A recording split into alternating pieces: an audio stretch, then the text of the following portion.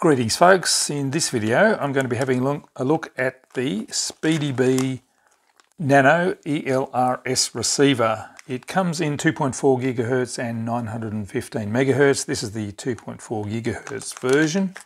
It is a single antenna, non-diversity, uh, nano-sized receiver, uh, which I think is the most convenient. It's the most uh, common one that I use. Uh, so let's find this little fella in here. They're absolutely tiny. Has an impressive 100 milliwatts of telemetry power. Look at the size of that. That is just ridiculous. Single T antenna. Uh, comes with cable, pins and heat shrink. What I'm going to do first is uh, solder it up and uh, put it together and then uh, we will compare it to some of the other receivers around, have a look at the manual and the websites, uh, and then I'll bind it up and show you some of the selections in the Lua script. Uh, so anyway, let's go and put it together right now.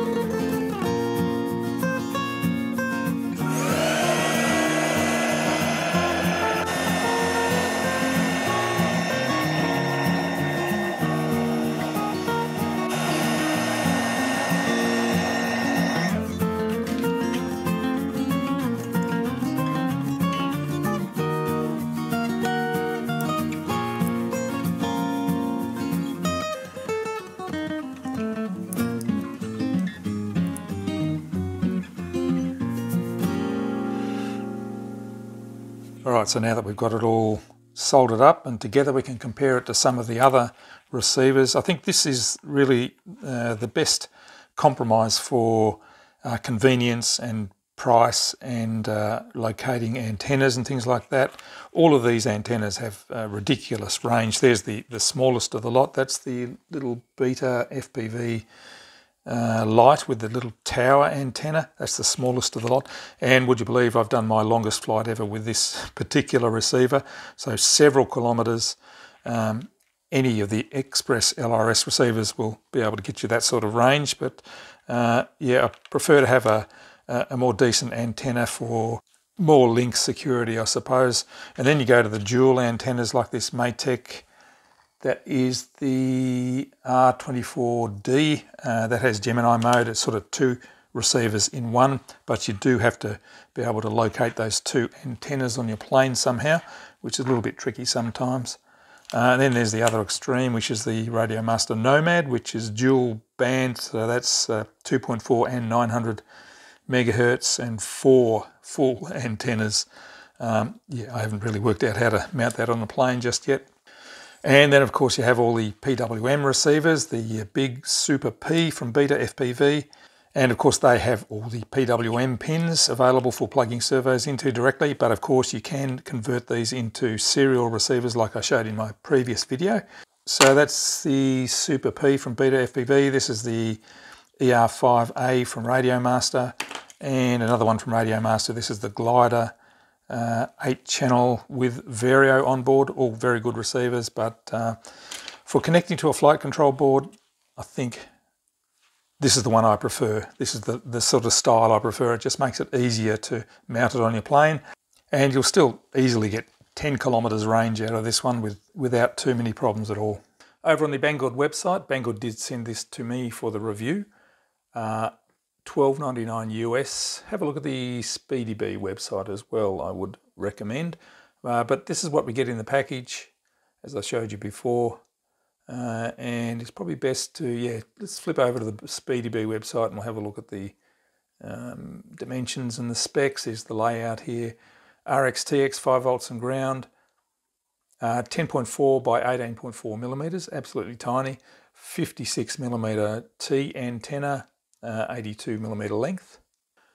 And there are some measurement uh, details there showing that uh, you can get uh, actually up to 120 milliwatts output for the telemetry.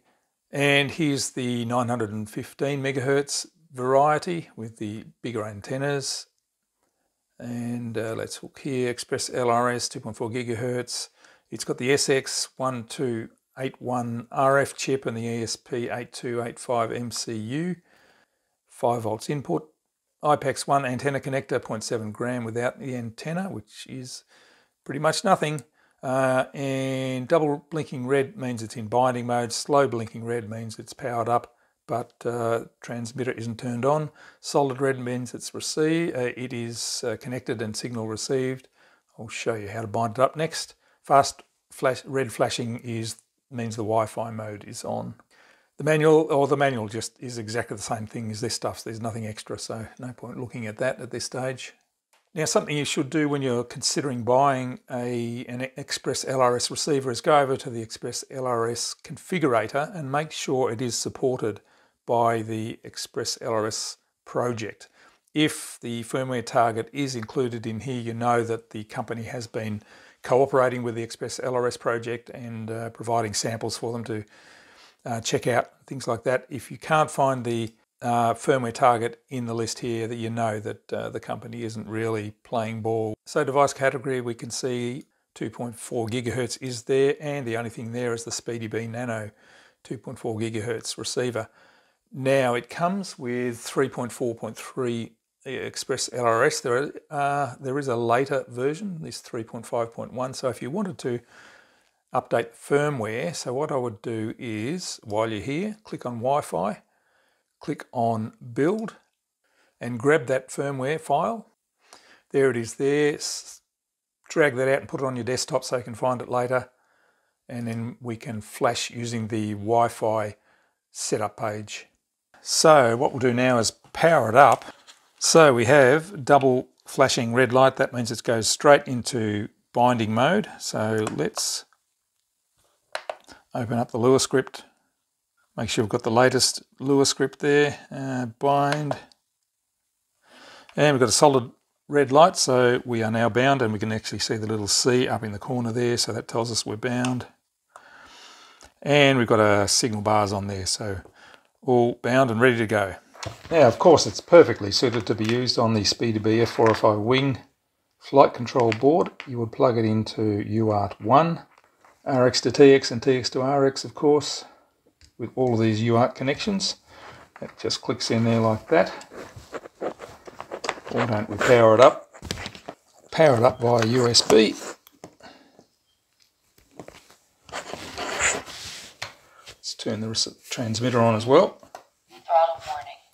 There we go, we're connected.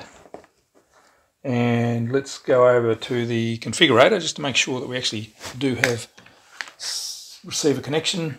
And if we go over to the receiver page, I think we're looking pretty good.